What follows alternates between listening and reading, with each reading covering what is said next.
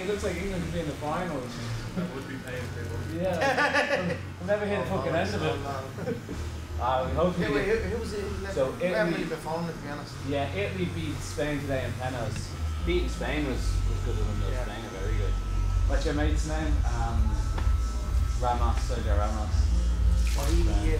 Yeah. Uh, he messaged me. He, we actually got tickets.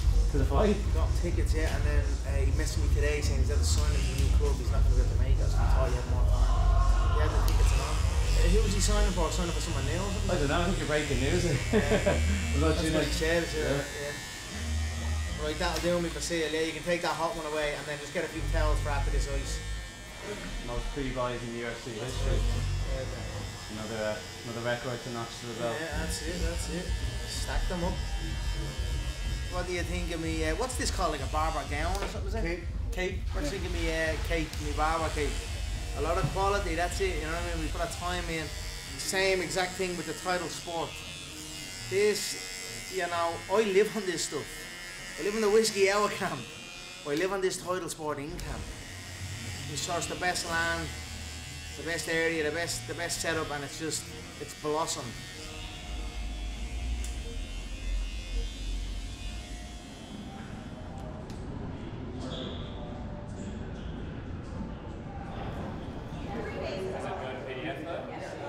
What's up, Stephen A? How are you, sir? See, this is the problem. Wow. This is the first time. This is the first time I'm doing an interview with somebody and they dress better than me. I didn't. I didn't know that, my brother. How you doing, my man? How's everything going, man? Pleasure to meet you, man. Yeah, good to meet. I'm just saying, you know, I pride myself in dressing pretty sharp, but you know, I'm covering the NBA Finals, and I came here. They told me it was 110 degrees. I said, "The hell with that. I don't need to get dressed up. I thought you was gonna be." I should have known. I should have known. That's my slip up. No, I'm excited. Man, nice to meet you, man. Nice to meet you. as well. As we sit here right now, just days removed from your trilogy with Dustin Poirier, is it possible that no matter what you say, that you're sitting back knowing that everything's gonna be all right no matter what? That's the fire that people is questioning whether or not that's still there with Conor McGregor. Yeah. Because of that. Yeah. Well, what do you say to that? I mean, I'm coming in to kill this man.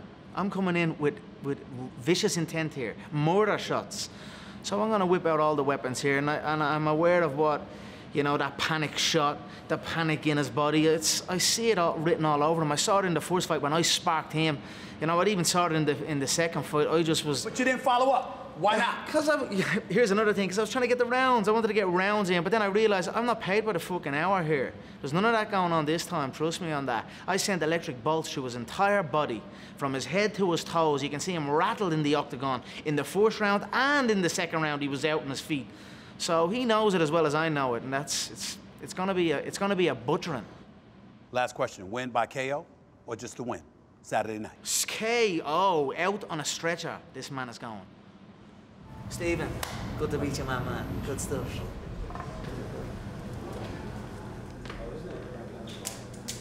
Yeah, we worth a lot of money That was uh, was Abu Dhabi ones. Me and the champ, champ junior. Uh, yeah, here for work, here for business. You know what I mean? Vicious business. Fist clenched, ready to break a face. So the fights are in Vegas. Do you feel like it's almost a home game for you then? Oh, it's brilliant. It's so good to be back here in Las Vegas. I'm honoured to be back here and to perform for the fans and to boost this great city again. What are your expectations for yourself and your own performance in this main event? Let's go uh, orthodox.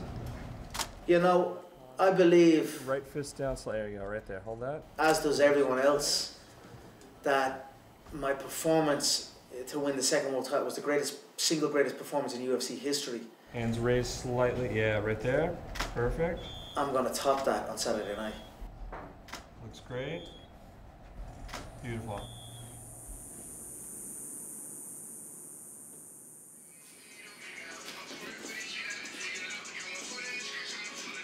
It feels great, man. Feeling ready to go. I'm feeling locked in.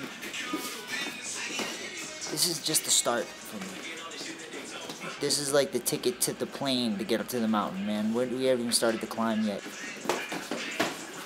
After this is where I go to build my legacy and the guy that has so much hype behind him. And if I, if I can get that done, I'm one step closer to that. I'm just ready to go out there and be hungry and, and show the world how I fight. I think the first round is going to be a tough round. The longer the fight goes, I think it tails in my favor. But we're going to have to wait till Saturday night to see how that plays out. You know what I mean?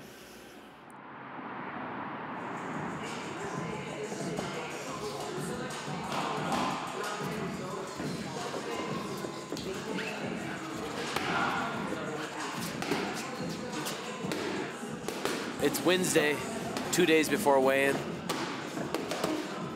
Mindset for training today is just to get a good sweat, get a good sweat, get the blood flowing. Yeah, usually Wednesdays he's not near as explosive and doesn't have near as much power. He's kind of hurting from the weight cut already. But fuck, he wanted to keep working, but I just have to slow him down. Back up. He's ready to fucking go. I feel. I mean, I, I still feel pretty good. I just know how good I'm going to feel once I carb up and get get those calories in my body. So I'm kind of comparing myself to how I'm going to feel. Yeah, it's, it's another fight. Just because not a lot of people know who he is doesn't mean it's going to be an easy fight. He, has absolutely nothing to lose. He goes in there, loses to me. That's supposed to happen. He has nothing to lose. I just look at it as another fight, just another name, just another face to, to, to add to my collection of highlight reel knockouts.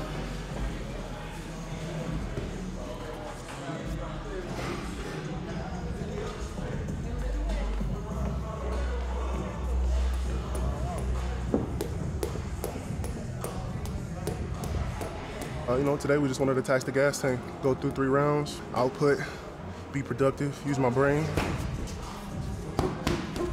see what I'm doing, understand what I'm doing, so that in the fight it just comes naturally.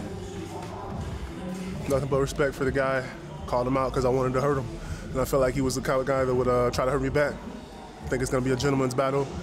I'm under the bright lights. I'm in the big stage, and it's time to perform. You know.